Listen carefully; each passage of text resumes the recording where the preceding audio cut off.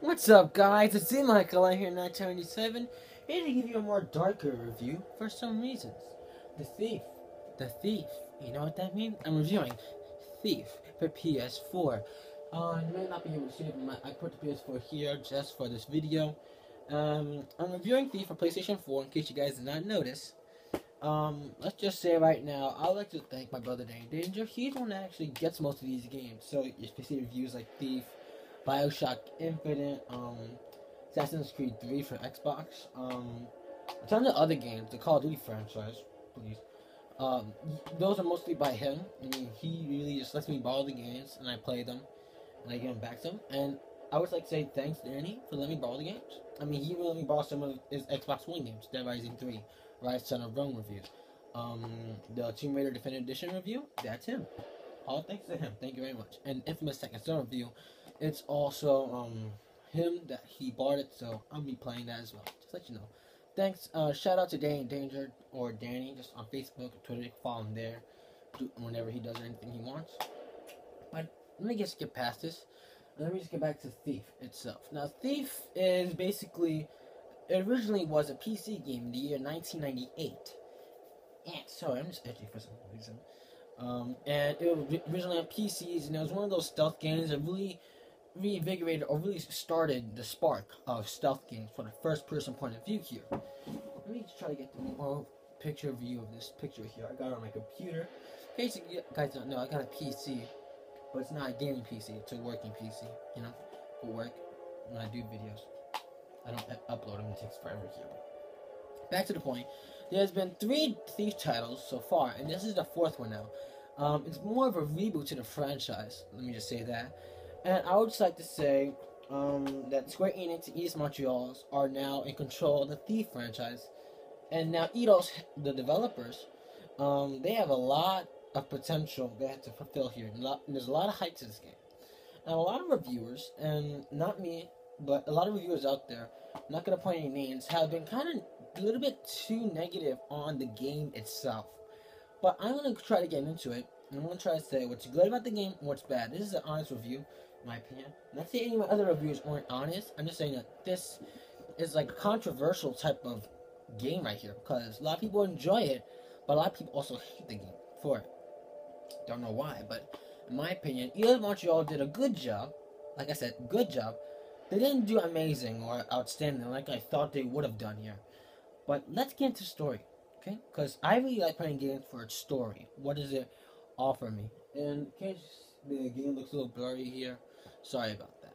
I'll talk about visuals and resolutions later in the visual section, but I'll be going to story here. What's the story about here, actually?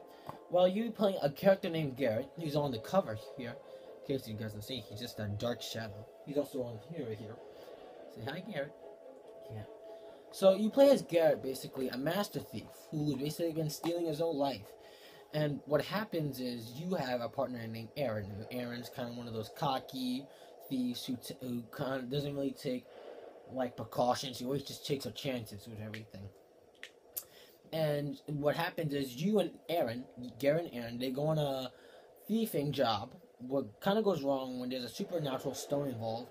What happens is Aaron gets this. Uh, Aaron disappears, and you go into a coma for one year entirely.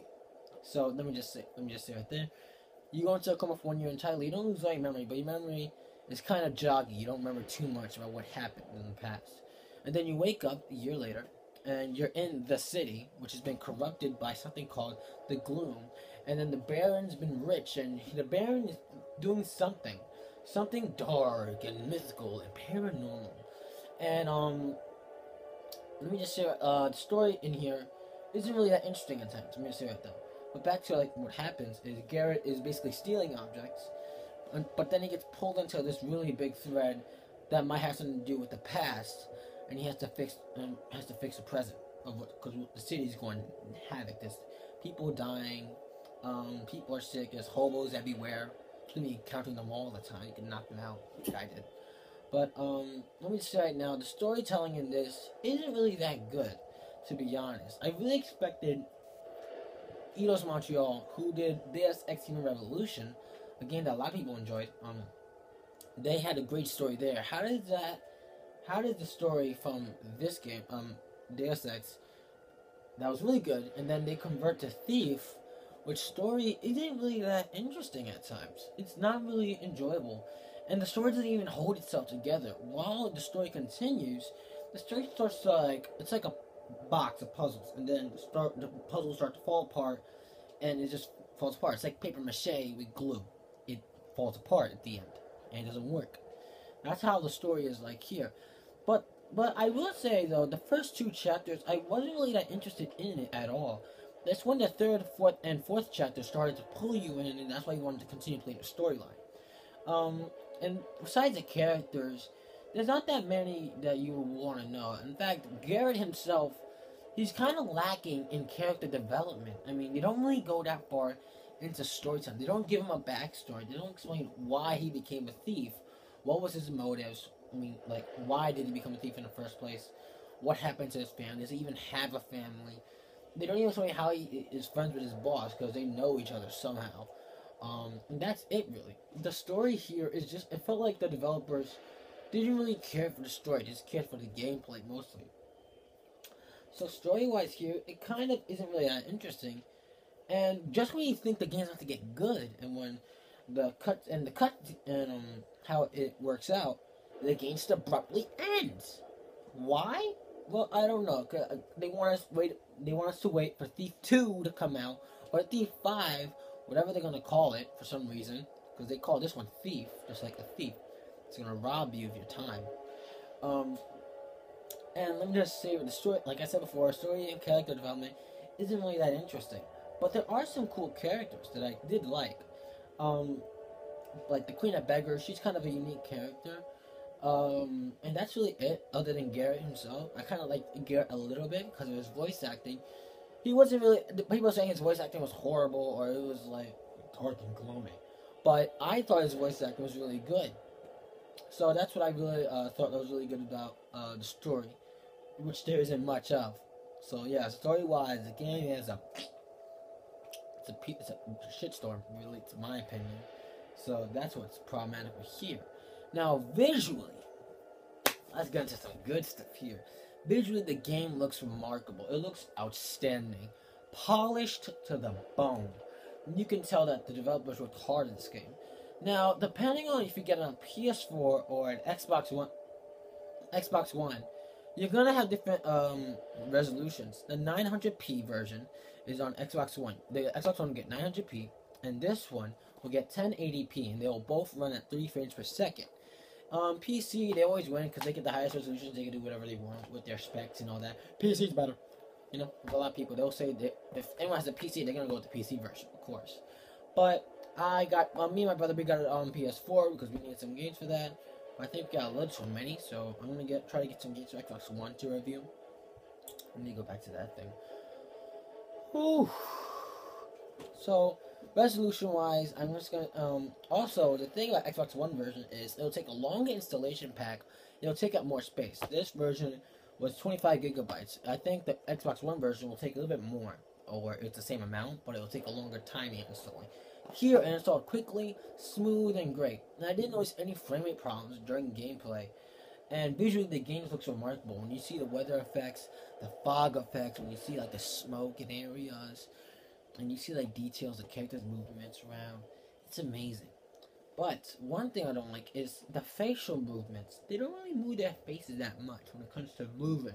They just, they just like, yo, see that storm over there? Saw that fire? Let's go check it out.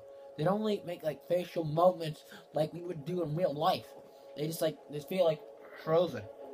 You know, it feels kind of odd and out of disjointed for the gameplay itself.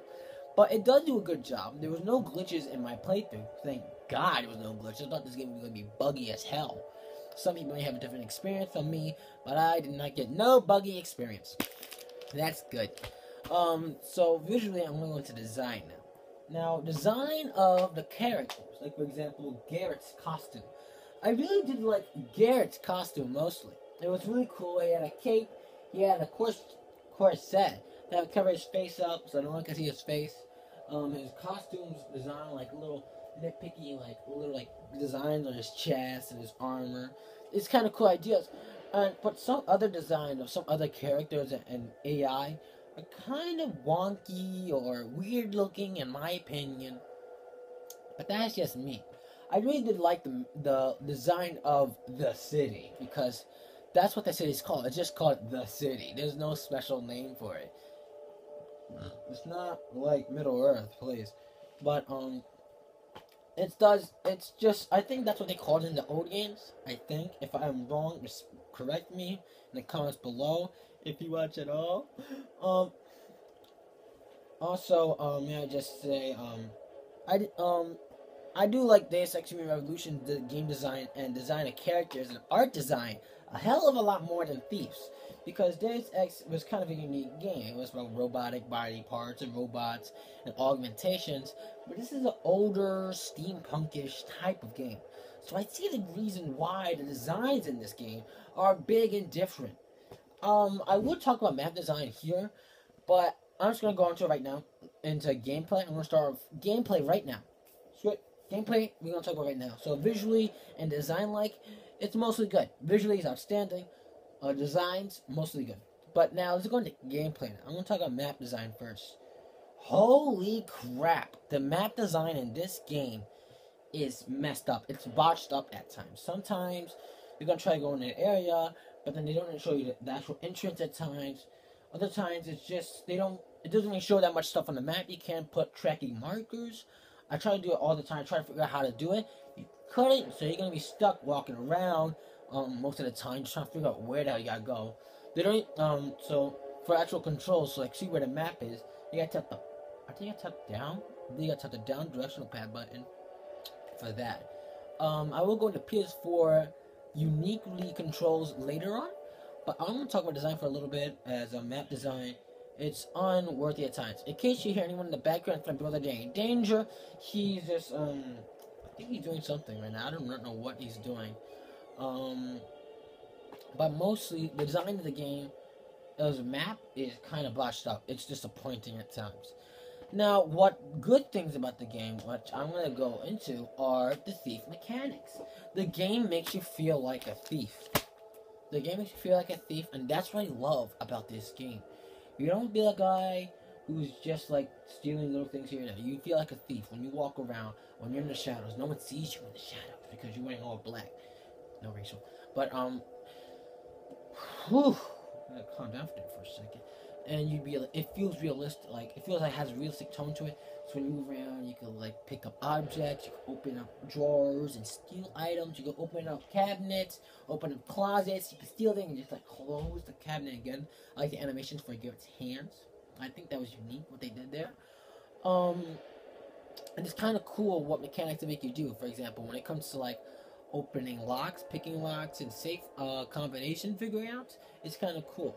So what you gotta do for the safe lock combinations here is you gotta go to like a lock that's um a cabinet or a door or anything that's locked. You tap the square button and then you use left left analog stick or left analog stick actually.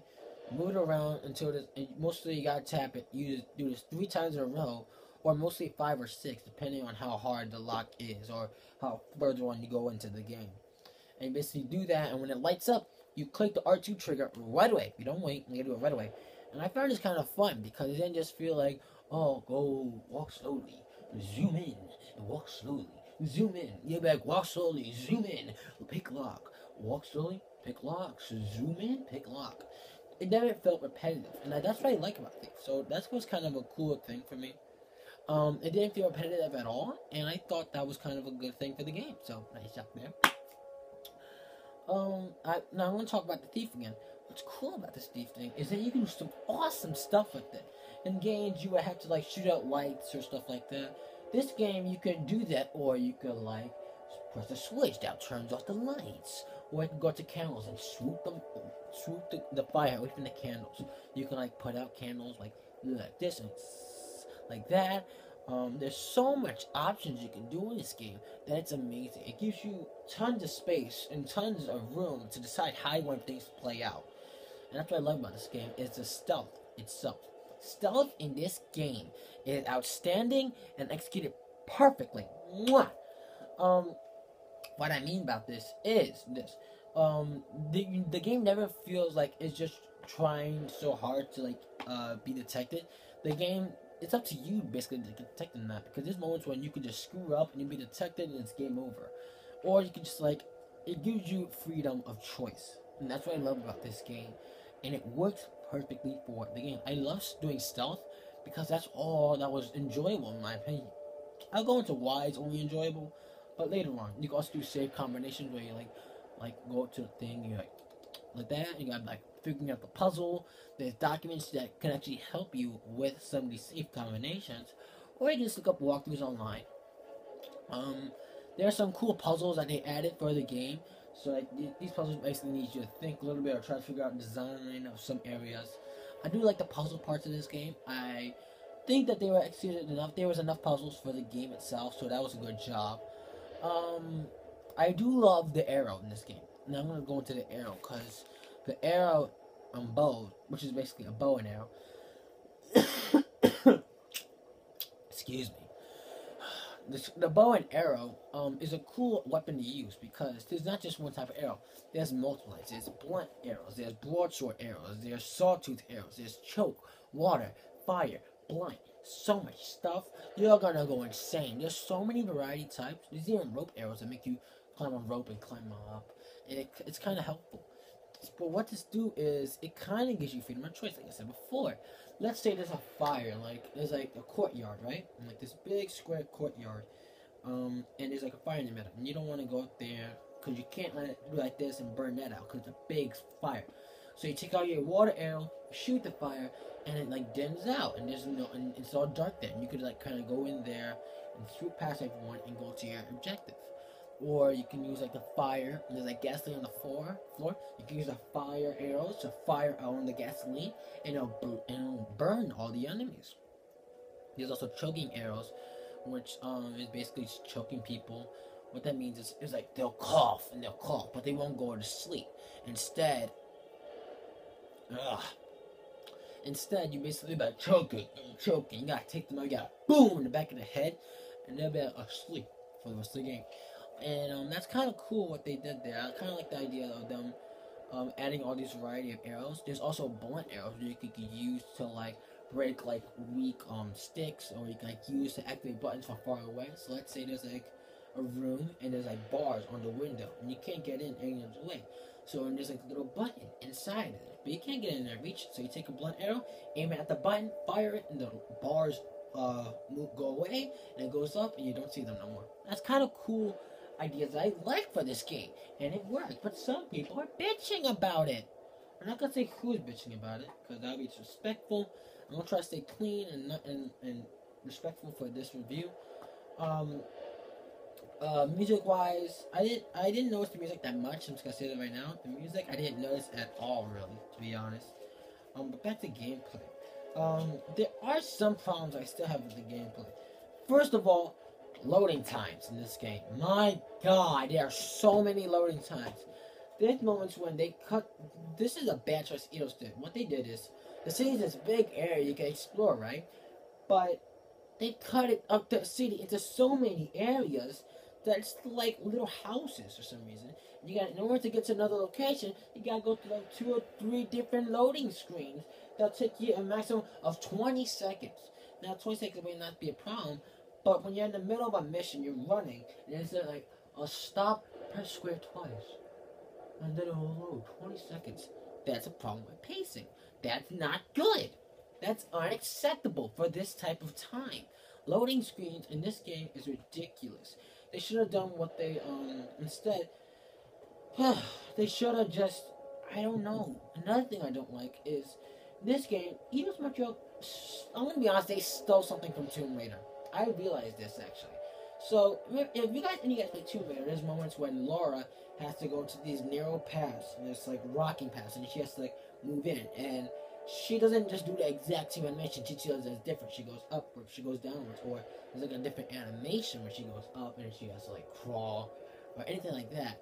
That was different animations. In this, they kind of take that, they add narrow areas and there's like a stump in between. You gotta push the stump every single time. I'm not making this up. I seen this. It was, it was ah, unbelievable. I don't know what, what how that happened. I don't know how Eidos Montreal think they could have gotten away with that. It's it's, it's stupid. It's stupid, and they and they think they got away with it. They didn't. Um, another uh, I forgot what I was gonna say. I'm not. Combat is horrible in this game. I'm just gonna say right now, it's disappointing. I thought that the combat in this game would be actually unique or smartly done, but it is glitchy at times, and it is just downright angerfying. And it gets me angry. So what the combat is, you basically have a blackjack, which is it's not cards or anything. Um, instead, it's basically like this small stick they have. It's like you can do like this or like that with it. It hit people. It's basically used for melee and takedown attacks.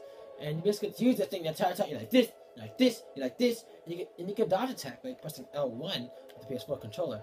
Um, and this, my God, the combat in this game gets repetitive so much that it will piss you off.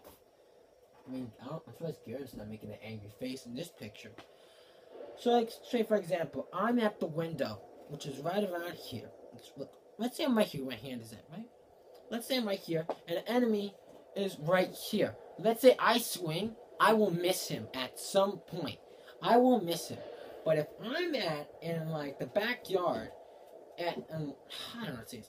If I'm at the window all the way over here, and my partner, the enemy's all the way over there, when when he swings, if he's five foot away, he's still gonna slice your ass. He's still gonna slice it. It's unbelievable. It's horrible hit detection that doesn't work. What the hell? Ugh. Sorry, I don't I don't really like being angry at my reviews because I don't like to. But not saying that I don't I hate the combat. I kind of understand why they went with this combat. Because you're a thief. You're a guy who's not really strong. You're a guy who steals the rest of your life, and that's it. You're not a Roman soldier or a guy who knows how to build shit. You're not. You're a skinny guy who runs around stealing diamonds and skulls and forks and pens and spoons. Pens and spoons. Great job, thief. Um. Oh, God. Why?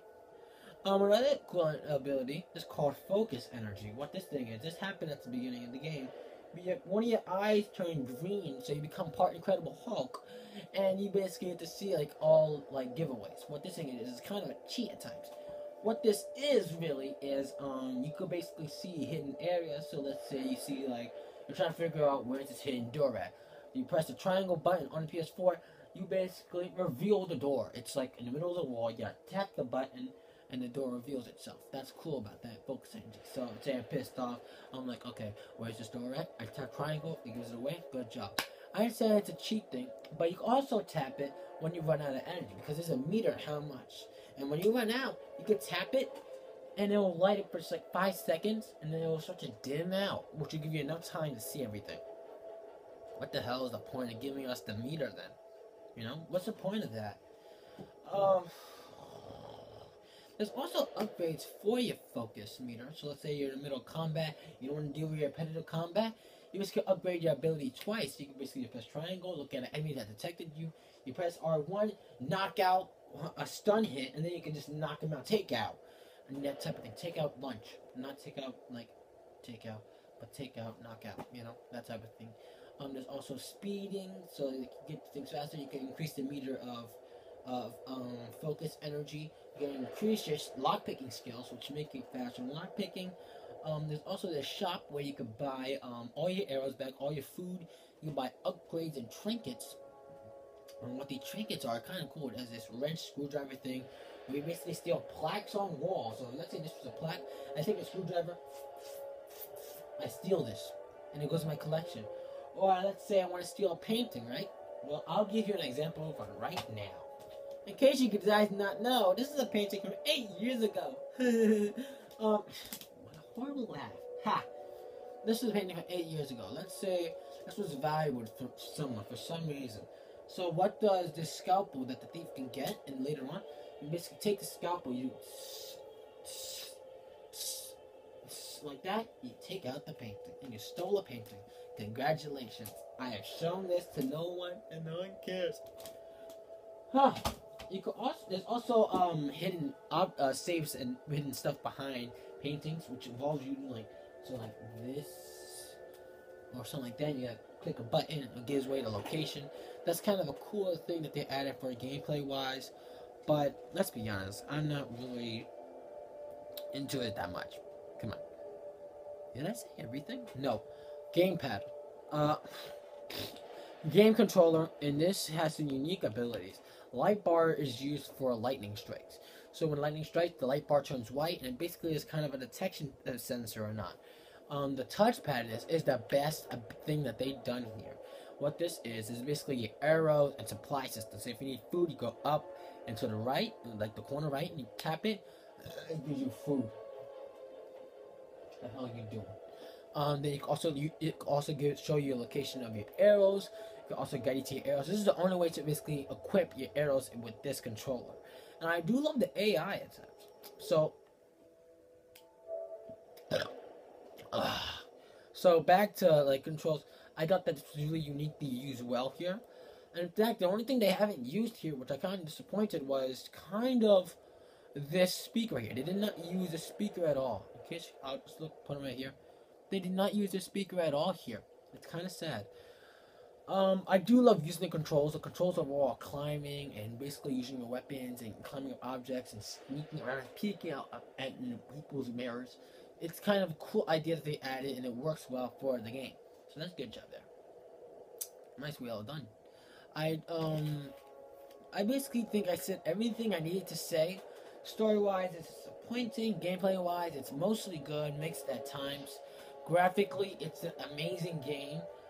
Um, also, but a lot of people are gonna be saying this is Dishonored, but with something called Thief on it.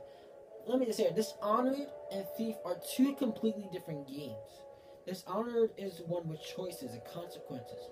This has no consequence. Thief has no consequence. And it's a game. A good game for that, which is why my final verdict for this game is to be an 8 out of 10. Let me repeat myself. An 8 out of 10. It ain't a 6.5. It ain't a 6 or a 5, what some reviewers out there are giving it. Or 6.8 for some reason. It's an 8 out of 10 in my book. I really did enjoy playing the game, but there was just some moments when I wanted you to break it down controller. Unbelievable. I think it's dark now. Yeah, it is. Should I turn on the lights? Or do you guys like me in the dark? Well, the only reason I did this so dark was because I wanted to be thiefy like. So enjoy that. You know? Let me just say this. I feel like Eidos was kind of being called in while they were almost done with the game. While doing this project. And I felt like if they'd been given another month or two to delay it, this game could have just not just been an 8 out of 10, but it could have been one of the best games of the year. The sequel for this game has potential. It does. And we just we just need to put our opinions out there and say the good and the bad. And depending on your choice of score, that's all up to you. But in my opinion, it's an 8 out of 10 in my book, and I recommend it for those who love stealth. If you don't like stealth, get the hell out. Go play something else. Because you're not really gonna play this game if you're not a stealth fan. May I just say, um, there's also you can also play like, like the original Thief, where you can just do this custom mode where you put on the hardest difficulty, and you could basically like say no special, uh, uh special takedowns only, stealth, special arrows only, um, no focus energy, no crosshair, all that stuff. That could be uh, considered the original Thief experience. I have not played on that experience yet. Because if I did, I would flip out and lose my shit. Okay? Um, in my opinion, Thief is an enjoyable game. It's not number one game of all time. It's actually like fifth. But overall, um, it's just take your chances with this prod- product. Just like take your with Metal Gear Solid 5 Ground Zeroes. For those out there who don't feel like it's worth 30 bucks, come on. It's just take your chances with this. And overall, just be careful with your choice. I'll um I'll see you guys on the next episode of DMAC 1137. Also, one more thing before I go, like the video, comment below and subscribe. Follow me on Facebook and Twitter. Facebook, my name is Michael Martinez. Twitter is the Michael 97 And also one more question. If I got if I were to start my little podcast, this a one man show podcast or two man, depending if my brother would ever do it with me, would you guys ever check it out? Comment below and let me know. Okay? Now bye. God, it's so beautiful.